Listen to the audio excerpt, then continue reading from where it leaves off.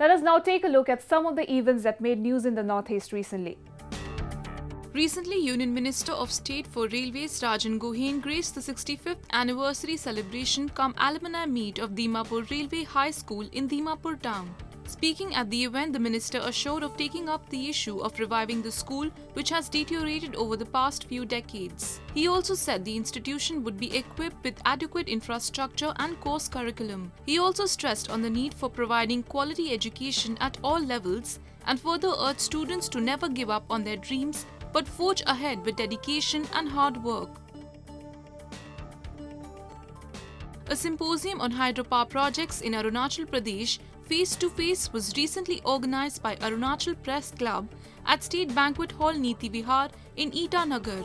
The second edition of symposium focused on pros and cons of hydropower projects in the state. The symposium aimed to impart the boon and bane of hydropower projects as well as to encourage stakeholders from all quarters for a dialogue to clear the doubts and remove obstacles for the sustainable growth of the state.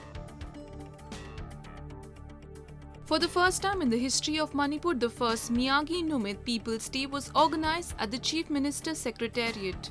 Over 300 public hailing from different parts of the state thronged Chief Minister's bungalow to make known their grievances to the Chief Minister. In addition, all the ministers, administrative secretaries, DCs, SDOs and HODs etc. also met the general public at the same time in their respective offices. The noble step has been taken up by the state government in order to make elected leaders, top bureaucrats and officials of the state government easily accessible to the general public.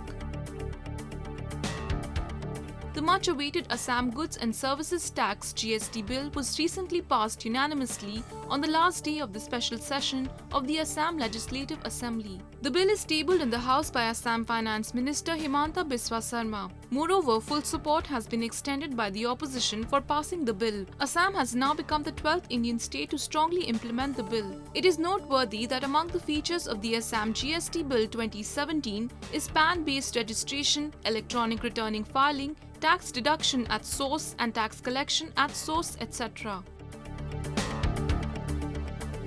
Recently, Imphal West Police Narcotics Cell cracked down on a fuel mafia and hauled up huge consignment of 19,000 litres of petroleum products comprising adulterated petrol, zero-density petrol, kerosene oil and colouring agents from Nong Metham Kuba brickfield of Hekrujam village under Nambol police station. After receiving a tip-off, the police narcotics cell raided the brick field where huge fuel adulteration unit was unearthed. Recently, Manipur Chief Minister N. Biren Singh distributed Sahitya Parishad annual awards to 27 eminent persons of the state and diaspora for their contribution in the field of literature, art and culture of the state. On the occasion, L. Jayanta Singh, Minister of Arts and Culture, was also present. The award was distributed on the second day of its 82nd anniversary observation held at the Maharaj Chandrakirti Auditorium located at Manipur Palace compound, Imphal East. Of the 27 awards, 17 were for Upadhi Award, 4 cash awards and 5 cash awards on books.